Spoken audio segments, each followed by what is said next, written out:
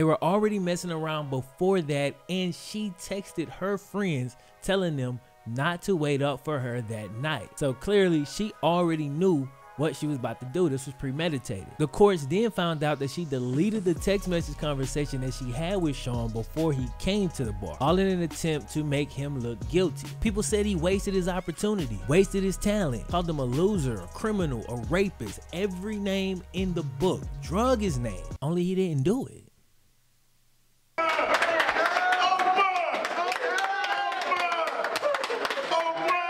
So four years ago, this image was taking over the internet and it actually inspired some pretty dope memes. And you know the meme is dope when you got people who have no idea who Shawn Oakman is, but they recognize this meme. This of course is a picture of Shawn Oakman looking like an absolute beast standing over two players from Michigan State. During that time, we all expected that by now, Shawn Oakman would be in the NFL doing his thing. That never happened due to the fact that he was indicted on a rape charge during the same month of the NFL draft. Now, an indictment is simply a formal accusation, but you know, the internet. Recently, Shawn Oakman was found not guilty of said accusation, but he's literally already lost millions of dollars just by being accused of something that the courts have now proven he didn't do. And that absolutely sucks. Today we're going to take a look back at who Shawn Oakman was before the false rape accusations. We'll take a quick peek at his childhood and finish up with what's next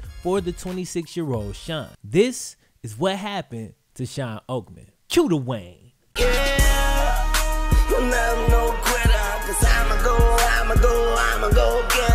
Shawn Oakman was born in Philadelphia back in 1992. When Shawn was six years old, he couldn't figure out why his mom would sometimes leave him and his siblings alone for days at a time. One day, the curious six-year-old decided to follow his mom. He actually managed to tell her for about two blocks before she noticed that he was following her.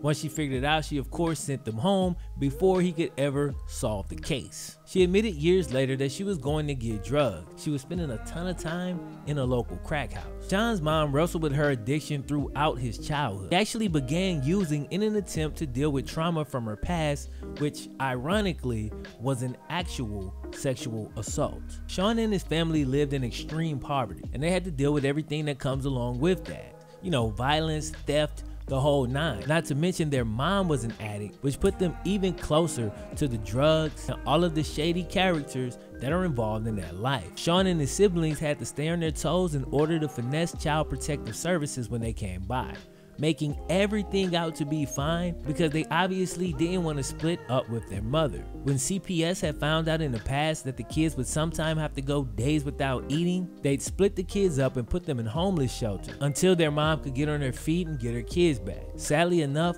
Shawn's earliest memories come from him being in a homeless shelter. When Shawn was 10, he was separated from his mom again. This time though, she was taken to prison. And in a strange twist of fate, this actually ended up being one of the best things to ever happen to Shawn. And according to him, it saved his life. Turns out Shawn and his brother were adopted by their uncle, an army veteran and previous foster parent, Ken Roberts, along with his wife Tracy. They had actually moved on from foster parenting at that point, but of course, they couldn't say no to family. This provided Shawn with the stability he needed, and a young boy needs a father figure. These are just facts. When it came to his ability to speak, read, write, etc., Shawn was actually way behind the other 10 year olds. But his uncle constantly pushed him to be better, forced him to take speech classes, forced him to take harder classes during high school, and not just try to skate by. And this greatly helped Shawn's development. Shawn was always too poor to pay the fees to participate in football as a kid. Therefore, he didn't even begin playing the sport until he got to high school. Literally after one JV game, they had to move this man up the bar to varsity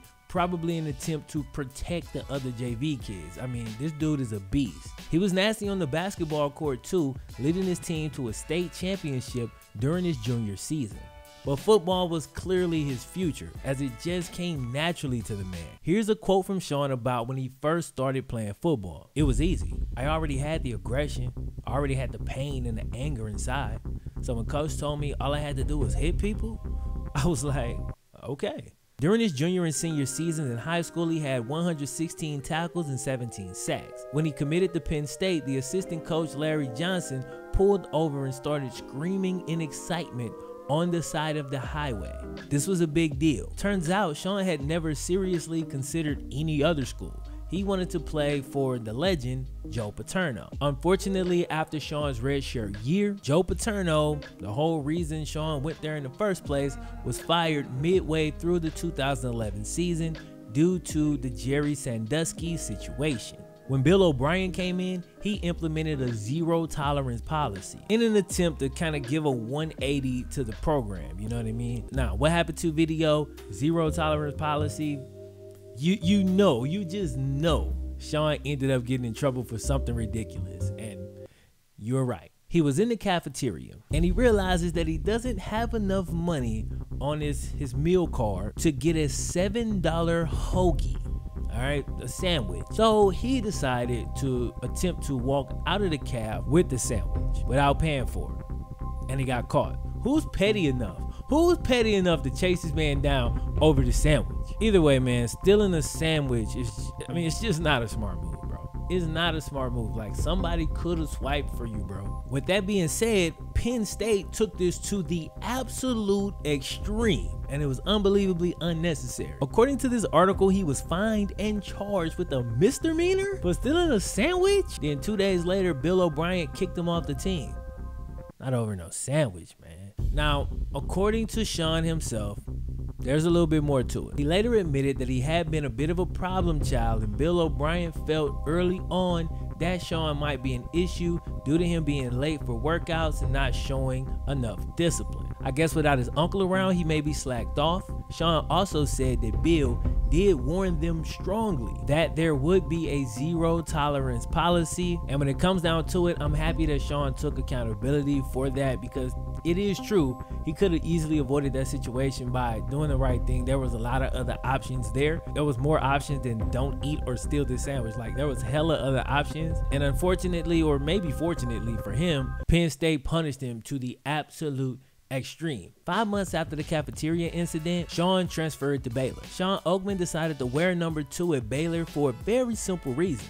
It represented second chances. And dude fell in love with the university. He really liked the fact that it was okay for him to express himself there. And he definitely did with tats and the green hair. And, but that was a lot different from Penn State where you had to be clean shaven and basically you know, like a like a robot around that thing. He also felt a sense of family over at Baylor and began to let his guard down a bit. It seems like they figured out the food thing at Baylor as well because Shawn put on 40 pounds after getting there. Dude was weighing 275 pounds, but with only 6% body fat. Now I know DK Metcalf out here hitting 1.6% at 228, which is just stupid.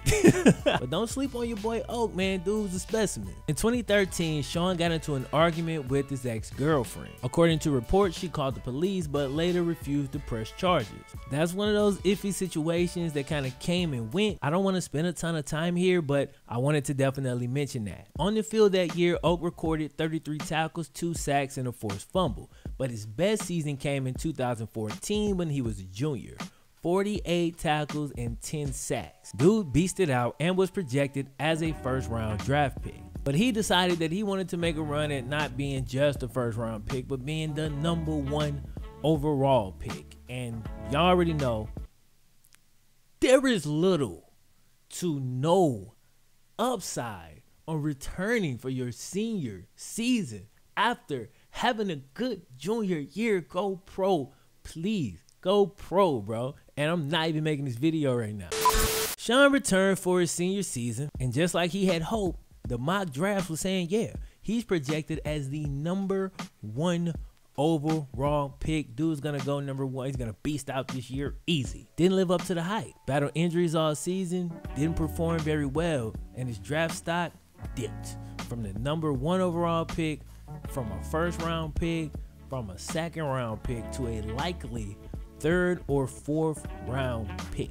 Now you would have thought his performance at the Senior Bowl would have helped. Dude had two sacks and a forced fumble. But reports came out saying that he looked really bad in practice. What are we talking about? Practice? After his senior season production dip, Shawn remained on some teams' boards just because he was still seen as a freak athlete. But running a 4.96 at the combine did not help that narrative. He only did 23 reps on the bench press, and a lot of teams was disappointed. At that point, he was seen as a boom or bust prospect. But with the upside he had, I promise you, somebody was going to take a chance on Shawn Oakman, and there's a very good chance we've seen this with plenty of DNs. He get to the league and he might not become that dude immediately, but he became that dude eventually. And either way, he still would have been getting drafted and he still would have got paid. But that never happened.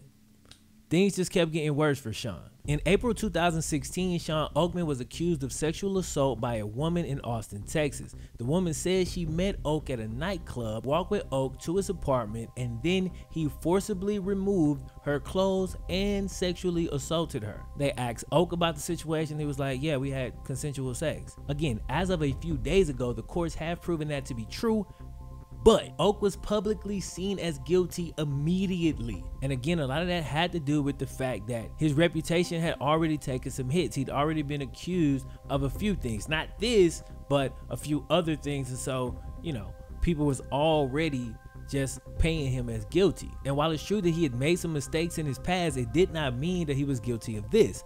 But during that same time in 2016, Baylor was becoming more and more known for these sexual assault cases, cover ups, and not taking it seriously. And all of this got lumped in with Shawn Oakman. As a matter of fact, he became the poster child for it. Following the sexual assault charge, NFL.com posted an article saying that Shawn Oakman was undraftable now. This all took place two weeks before the NFL draft.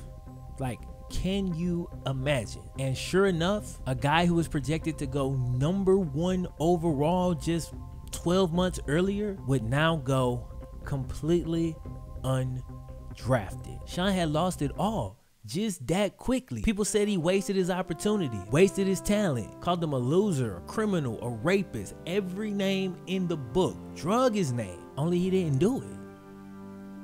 A few days ago, the clip you're about to watch started popping up in my Instagram DMs and all over my Twitter mentions just constantly. Shout out to everybody that sent this to me. I saw the first one though, I promise you. Either way, check it out.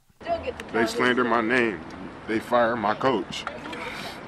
and I felt like all that all that was on me. We coming for everything. We coming to get everything back. Because everything is ours and it should have never been taken away. Emotional clip, man. I mean, imagine having your entire livelihood taken from you. Having everybody turn against you, having people talk crazy about you, all because of something that you did not do bro. Now, I'll leave a link in the description to the article that kind of sums up the case and where I got this information from. But I do want to point out just a few things from the case itself. The accuser was actually the person that invited Shawn to the bar. They were already messing around before that and she texted her friends telling them not to wait up for her that night. So clearly she already knew what she was about to do. This was premeditated. The courts then found out that she deleted the text message conversation that she had with Shawn before he came to the bar, all in an attempt to make him look guilty. Witnesses say when they were at the bar, she was all overdue and seemed very happy to be with him in public. Like, this is consensual.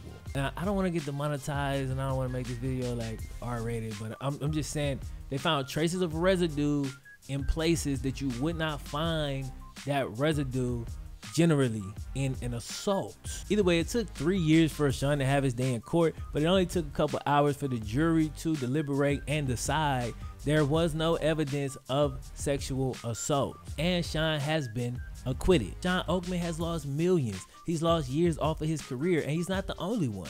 Same thing happened to AJ Johnson and Michael Williams, where they were lied on, and it has cost them their livelihood, man. She literally attempted to ruin this man's life, and that is wrong, bro. And while her plan didn't work fully, I mean, it still kind of worked. You know what I'm saying? Because he should have already been in the league right now. He never gonna make the money back that he lost over these past three years. I'm saying even if he get to the league and get paid, he, he can't make up for those three years. That's gone. Now that Shawn's out, he plans to make another run at the NFL. He's lost time and money, but he's only 26 years old and has been staying in shape. Will this story end here, or will Shawn make a miraculous return to the gridiron? He's obviously shooting for the NFL, but I think this is definitely a case where at the very least he'll get an opportunity in the AAF. And while the AAF is great, I just really hope this dude get an opportunity in the NFL because I feel like he had that opportunity taken away from him unfairly. Either way, that's all I got for you today. That's what happened to Shawn Oakman. Peace. If y'all enjoyed this video, be sure to click the thumbs up button. For more football stories, news, and analysis, subscribe here and enable your notifications to never miss an upload. If you really enjoy the content, check out my vlog channel for behind the scenes look at my YouTube and music grind, along with me answering your questions at length.